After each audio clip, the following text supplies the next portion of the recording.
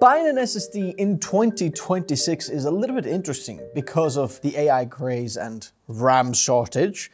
Actually, these SSDs are also a little bit of a mix-up and it is confusing. If you want to choose Gen 4 or Gen 5, ooh, for the first time ever, I think we might be able to choose Gen 5 instead of Gen 4. But Kioxia here does not make that simple because they've made a Gen 5 SSD that's called Gen 4. Regardless of the confusion, there might be actually some good news. So let's take a look if this Gen 5 SSD is actually worth buying compared to the others out there. Ah, it's so annoying. I don't want to pay hundreds of dollars to just change my Windows wallpaper just because my Windows isn't licensed. Well, why don't you try Whokeys? That's a ton cheaper. And if you use the code TN20, you get it even cheaper.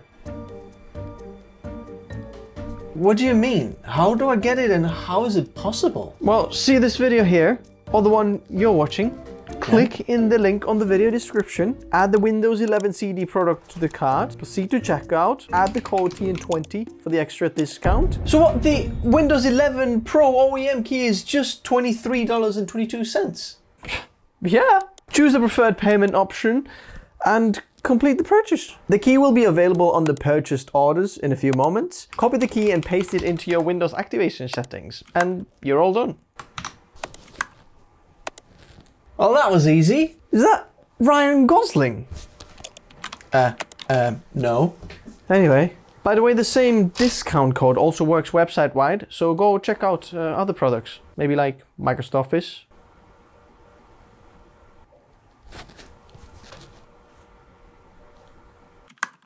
Firstly, I want to talk about the price because this has changed the most in 2026. The pricing is all over the place and for that reason, I'm going to leave all the different SSDs that I'm talking about in the video description below. So what I recommend you do is wherever you're watching this from, click on any of the SSDs that you are particularly looking for or watching. You'll see in a minute lots of different benchmarks. Check the pricing of this whenever you're watching this video because you might be looking at your SSD, what you're thinking of buying, but then you realize that something that is actually better is cheaper because SSD pricing is so volatile. It just goes up and down all the time. So check them out in the video description below. Now, some of the specs about this uh, Kioxia Gen 4, Gen 5 really. I think Kioxia needs to change this naming because Exceria plus G4, but this is Gen 5 SSD. So this is PCIe Gen 5 X4, so it's four lanes of PCIe Gen 5 that go onto this. We get speeds of up to 10,000 megabytes per second, which tells us that it's not particularly the high-end Gen 5 SSD, but somewhere a little bit lower. But at the same time, it's higher than the top-end Gen 4 SSD. So that's why I'm curious how does this perform. This Exceria Plus comes in one terabyte and two terabytes in sizes. No four or eight terabytes available. It is only single-sided, nothing underneath. And then on the top, we've got this little sticker, which is supposed to be a little bit of a thermal dissipation as well. But to me, it just looks like a sticker. So then let's take a look at some of the benchmarks. So first looking at sequential read and write speeds, which in most workflows is not actually useful benchmark because it's very rarely that you can actually reach those speeds, even though the drive can do that. If you want to see some of the more actual workflows, I'll explain those in a minute. Stick around later on in this video, you'll understand those. But this will actually determine if the speeds that are advertised here on the box, 10,000 megabytes per second, yes, megabytes, not megabits, as someone always tells me in the comment section below.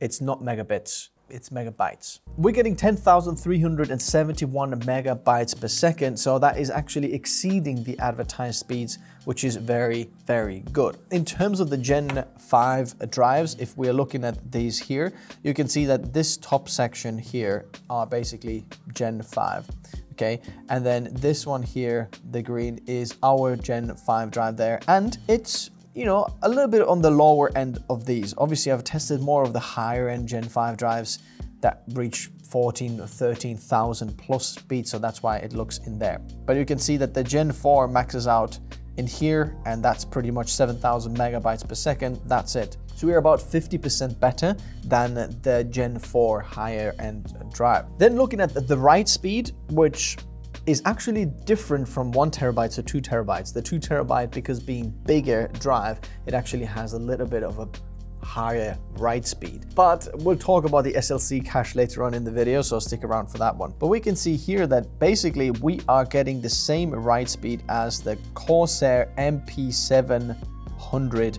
speed in there. You can see here that Gen 4 drives, again, somewhere over there, doesn't get much better than that, but then we are higher there. There are much higher Gen 5 speeds, and you're thinking, oh, this Kioxia is not worth considering, you'll see in a minute that this actually throws the whole thing on its head and you'll see why this might actually be worth it a lot more than you might think. So I'm getting 8,765 megabytes per second, which is plenty speed. Now some of the real world workflows. So this is where we're testing a quick system drive benchmark. This tests the drive as a secondary drive in your system.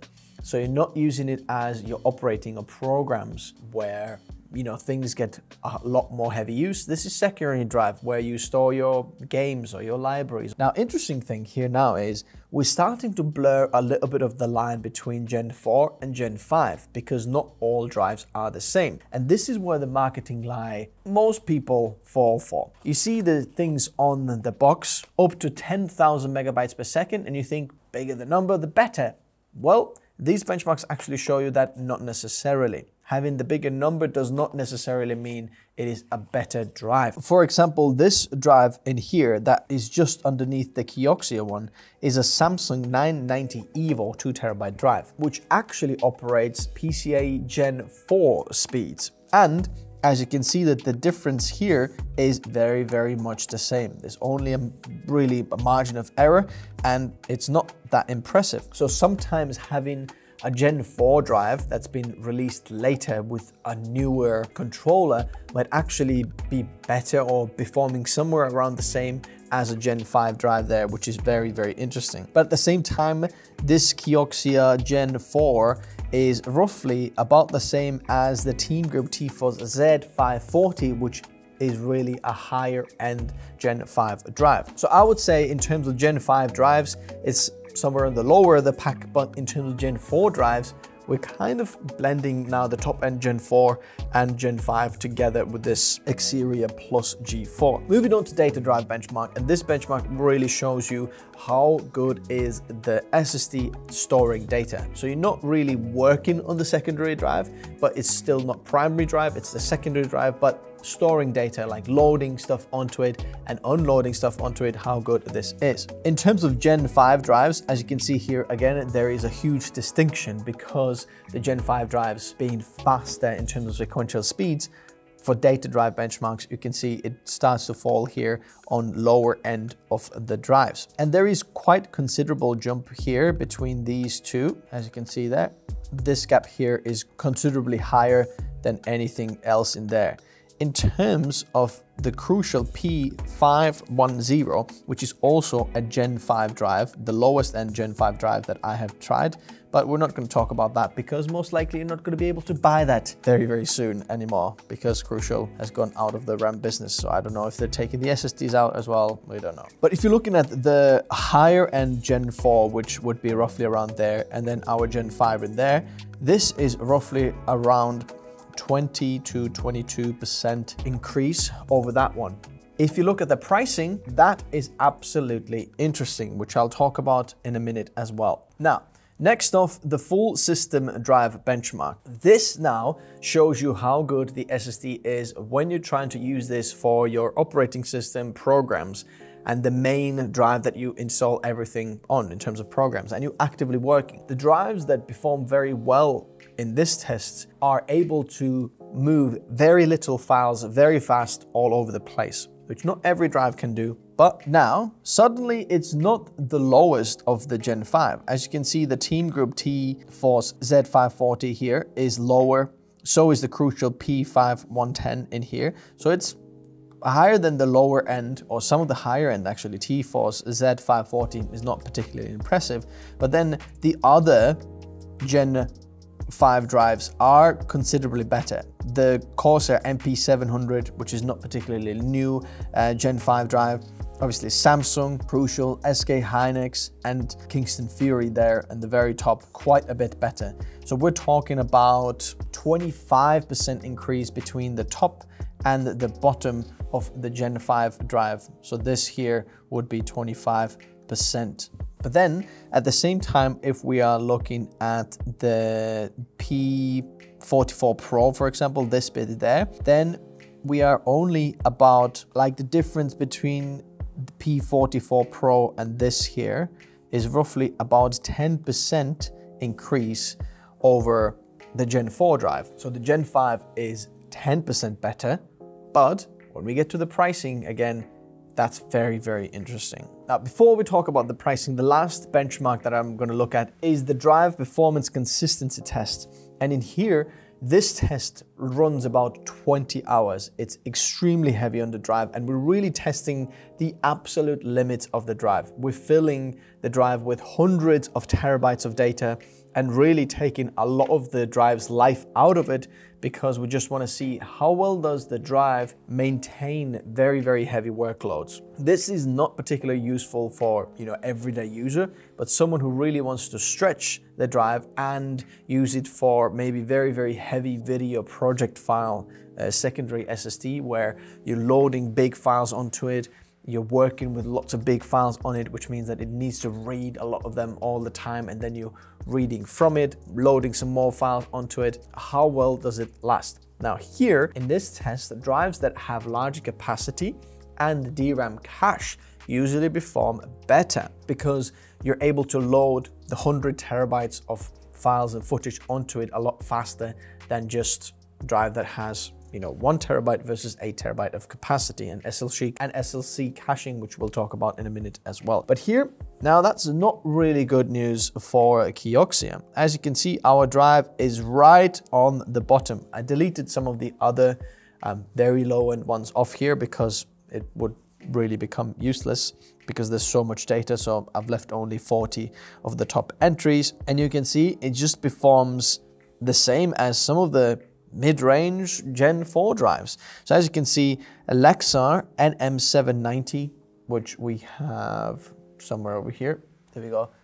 This one here is actually performing quite a bit better. That's Gen 4 drive, also without DRAM cache. It uses host memory buffer and so on. Some of these are very, very lower end. This here is mid-range Gen 4 drive. And if we're looking at Gen 5 drives, even Gen 4 drives, look at the FireCuda 532 terabyte. That is a huge, huge difference in terms of performance in there. And why is that? FireCuda 532 terabyte drive, which is a Gen 4 drive, gets more than double the performance while being Gen 4 drive, maintaining the same capacity, but being more than double the performance. Well, the FireCuda 530 is exactly engineered to perform well in this test, but the Kioxia isn't. So what I would say is if you're thinking about having heavy, heavy, heavy work done on the Kioxia, it's not a particularly good drive. Why is the pricing interesting? Well, because of the DRAM shortage that's happening in the world, the pricing for these drives is actually the same as the Gen 4 at the time of me recording this video. Go check out the pricing below and I would love to know what you're seeing and if you've seen the same thing where you're watching this from, please let me know. Check out the pricing of these in the description below and check what it costs on Amazon, for example, Newegg, for example, for in your country. This Gen 5 drive costs the same as roughly a Gen 4 drive, a Samsung Gen 4 drive well, that's not Gen 4. This one, a 990 Pro, for example, or the Lexar NM790, the pricing is the same. Well, if the pricing is the same, buy the Gen 5 drive because we're getting 10 to 20% extra performance for the same amount of money. Why go with the Gen 4? The only thing to consider here is if your actual PC platform supports Gen 5. If you're on one of the earlier version of the CPU platform, so uh, Intel 14th Gen, 13th Gen, or Ryzen 7000, then you might be losing some of the bandwidth for some of these other, for example, your GPU might not get the whole bandwidth because your secondary SSD is not supposed to be Gen 5 as well. You're running out of PCI lanes. But if you're running like the Core Ultra, or Ryzen 9000, then you can actually have a secondary drive or a primary drive, Gen 5 as well, without losing any bandwidth, which is absolutely amazing and worth checking out. So what about the endurance of the drive? Now, I'm happy to announce that this Kioxia has 600 terabyte written spec for one terabyte model and 1200 terabyte for the two terabyte model, which is just the industry standard. What we're seeing across Samsung and WD drives is just exactly the same. It's nothing extra or nothing less.